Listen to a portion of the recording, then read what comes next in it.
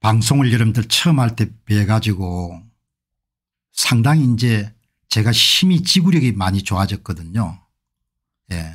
그러니까 이것도 여러분 열심히 자주 하는 것도 중요하지만 평소에 여러분들이 이렇게 체력 관리를 잘해야 이 몇 시간씩 이런 방송할 수 있거든. 처음에는 힘들었거든요.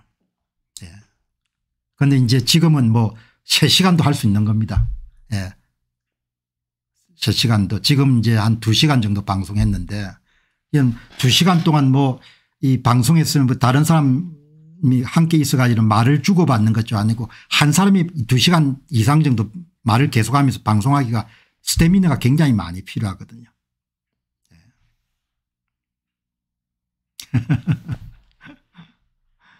새해 첫날에 여러분 좀 유쾌한 일들로 이야기를 해야 되는데 너무 심각한 이야기를 많이 해가지고 그래도 여러분들 이거 뭐 여기서 심각한 이야기 안 하면 누가 이야기 하겠습니까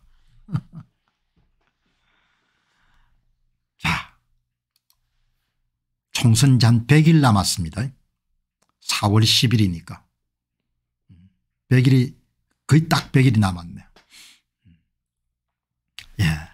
뭐 이제 오늘 뉴데일리 신문을 예, 보니까 예. 뭐 이제 이 일면에 더 제가 보고 예. 톱뉴스가 한동훈 씨가 나와 가지고 국민 비판을 경청하겠다. 그래서 내가 야 국민 비판이 경청하면 은 선거 부정 문제 좀 해결해 주라. 선거 부정 문제 하는데 예산이 들은 것도 아니지 않냐. 응? 투표 관리관 개인 도장 하나 관철하는 거를 못하냐. 응? 어이 한동훈이 응? 내 다른 거는 뭐 당신들에게 바라지 않고 당신들이 내한테 돈 보태달라 이런 이야기 내가 안 하지 않냐. 응? 제발 위조 투표지 못 만들게 투표 관리관 개인 도장에 투표용지 찍는 거 그거 좀 관철해 달라. 아니 당신 말로 국민 비판 경청하겠다면서 이제 그다음에 보니까 한동훈 신년사 몸을 사리지 않고 국민의 힘부터 변하겠습니다. 어. 아니 몸을 사리지 않는다고 했으니까 투표 관리관 개인 도장 날인 그거 좀 해라. 응? 한동훈이가 여러분들 비상대책위원장에 들어가 가지고 투표 관리관 개인 도장 날인만 관철시키면 아마 세상이 뒤집어질 겁니다. 예. 그냥 즉시 한동훈 빠들이 뭡니까 전국 방방곡곡에서 뭡니까 그냥 줄을 설 겁니다. 한동훈이 하겠습니까 못합니다. 예. 왜 서울대 출신이니까. 예. 한동훈이가 촌놈이면 뭐 그렇게 할 수 있을지 모르겠지만 서울대 출신이니까 못할 거예요. 계산할 거거든요. 머리가 빠르니까. 머리가 빠르니까 못하는 겁니다. 이 방송에서 이런 보시게 되면 은윤 대통령이 선거 부정 실상을 모를 수 있다 이렇게 하는데 그건 뭐 택도 없는 이야기입니다. 예. 그거는 윤 대통령을 모욕하는 어마어마하게 모욕적인 발언입니다. 서울법대 출신들이 계산이 빠른 겁니다. 그래서 안 하는 겁니다. 국민 비판 경청하겠습니다.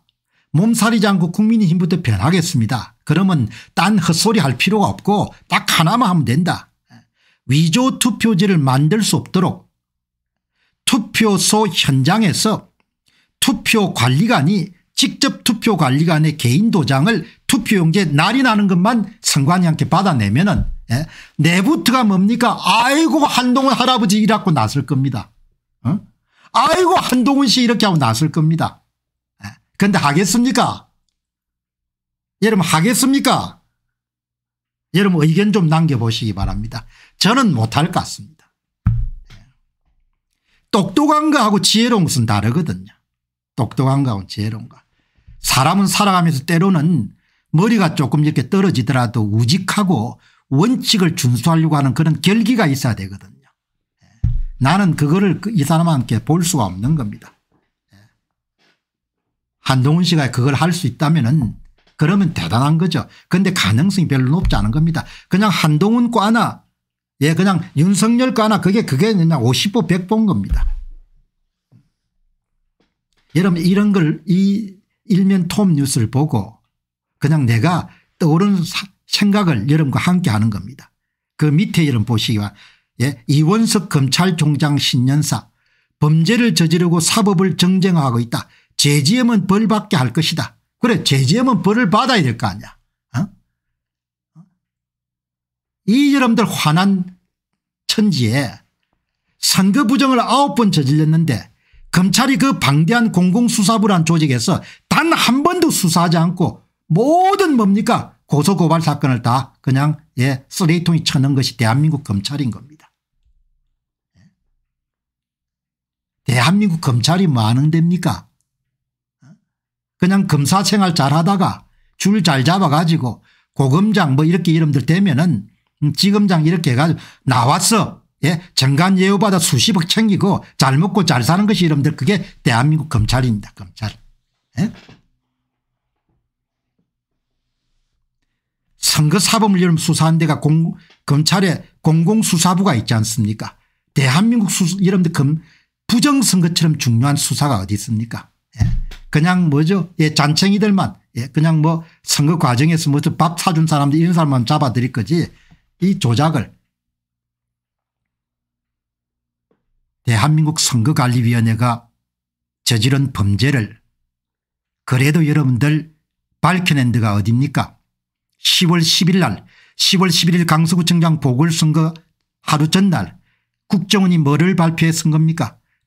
선관위가 운영하고 있는 전산장비 100대 가운데 4대를 여러분들 가상 해킹을 여러분 구성해 여러분들 접속해 보니까 첫 번째 사전투표지를 얼마든지 외부에서 제조 생산할 수 있고 두 번째 통합선거인명부 위변조를 통해서 사전투표자 수 유령 사전투표자는 얼마든지 만들 수 있고 세 번째 선거 결과를 얼마든지 조작할 수 있다. 그걸 대한민국 검찰이 찾았습니까 그걸 국정원이 찾은 겁니다. 예? 대한민국 검찰은 국정원은 여러분 간첩 때려잡는 데지 대한민국 검찰은 공공수사부가 별도로 있지 않습니까 공수 선거사범을 수사하게 돼 있는 그 방대한 조직을 갖고 있는 대한민국 검찰이 예?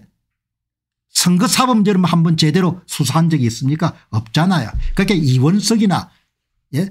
한동훈이나 윤석열이나 다 검, 적시검사들이라는 이야기죠. 너가 어? 그냥 잘 먹고 잘 살아라.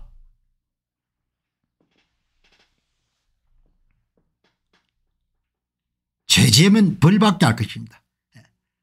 얼마나 뭡니까 신문을 볼 때마다 구역질이 나는지 나라가 완전히 거짓과 위선과 조작과 사기의 똥통같이 보이는 겁니다. 완전히 똥통입니다. 똥통.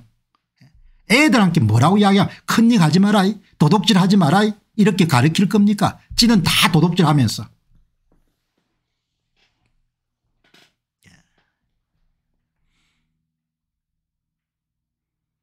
유근이 주필이 윤과 박의 화해는 자유진영 복원 신호탄이다. 뭐 이런 이야기 하는데 류근일 주필이 부정선거 문제를 좀 다뤄주면 참 좋죠. 예. 자유진영이고 나발이고 선거 부정이면 다 망하는 겁니다. 내년 총선은 2차 한국전 한국전 사이공 최후의 날 막아야 된다. 예. 내년 총선은 2차 한국전이죠. 한국전쟁의 여러분들 핵심이 뭡니까 부정선거를 막는 거지 않습니까 누구도 나서지 않지 않습니까 나라의 어른들이 어른들이 있는지는 모르겠는데